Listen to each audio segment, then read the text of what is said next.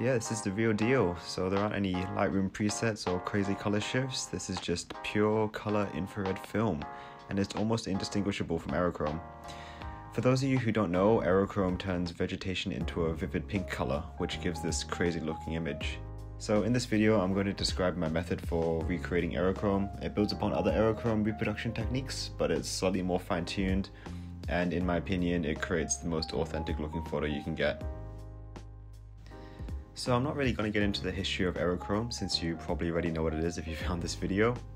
Anyway, uh, aerochrome is an infrared film, but obviously humans can't see infrared. So to get around this, aerochrome creates a false color image. So it does this by turning green colors in the real world into blue colors in the photo, and then red into green and infrared into red. And therefore it can kind of map the real world colors that we can't see into a false color image that we can see. Now, you're probably wondering how on earth this turns trees pink. Well, this happens because vegetation has a rather unique characteristic of being extremely reflective to infrared light. If you look at this diagram, you can see the huge increase in reflectance for dry grass right after the visible spectrum ends. So this means that trees both reflect infrared light and green light, because you know, trees are green. And if we pull up the aerochrome false color conversion again, the green color turns into blue, and the infrared turns into red, and blue plus red is pink, so how do we recreate this? While color infrared film is no longer being manufactured, we still have black and white infrared film, and that's what makes all of this possible. We can use a method called trichrome photography to mimic a color photo by taking three black and white photos. It's quite intuitive, you simply take a black and white photo with a red filter, green filter, and then a blue filter, and then you can overlay these images and it turns into a color image.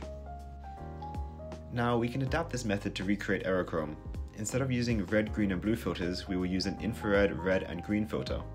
However, simply using an infrared red and green filter is quite a naive approach, and this is where my method improves upon previous techniques. To accurately recreate aerochrome, you have to choose the right filters to match aerochrome's spectral sensitivity graph. And this graph is basically just telling you which wavelength the film is sensitive to.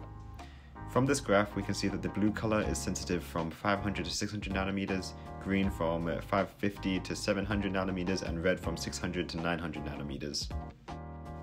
Using a combination of common color filters, we can recreate these ranges. And uh, in my blog post in the description, you can see exactly which filters I used, and I go into a bit more depth on how I chose them. So this is what you've been waiting for. It's an overview of the process. Firstly, you take the photos with the correct color filters, then in editing software, you can convert these black and white photos into their correct false colors. And finally, you can combine these images into your infrared photo. Now, there are a few caveats, of course. This method isn't perfect. The main issue is that it's just kind of annoying to have to set up a tripod and change out filters every time you want to take a photo. However, it does kind of cause you to slow down and think a bit about your shots, which is probably good because you only have 12 color images on one roll of 36 exposure black and white infrared film. Trichrome photography also causes colorful artifacts if there are any moving objects like cars, people, or clouds. And you can see this in the photo up here with the rainbowy clouds, but in my opinion it looks pretty cool, so it's not that much of an issue. I also had a lot of difficulty nailing the exposure for my infrared photos. Most camera light meters aren't calibrated for the infrared wavelength, so a lot of my shots had exposures that were way off. But thankfully, black and white negative film has an extremely forgiving exposure latitude, so all of the shots are salvageable, albeit with a little bit of extra grain, which isn't too bad.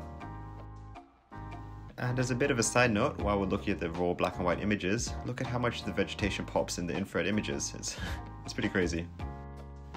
Another issue is that you have to shoot in direct sunlight since clouds block out infrared light, but I mean this is just a characteristic of all infrared photography. So in this image you can see that the grass that's in the shadows is completely dark and not pink at all. Anyway, this is another photo which I found really cool because if you look closely along the edge of the water, you can see a bit of a pink smear. And this is actually moss living on the rocks. The moss is almost invisible to the naked eye, but it's really obvious in infrared.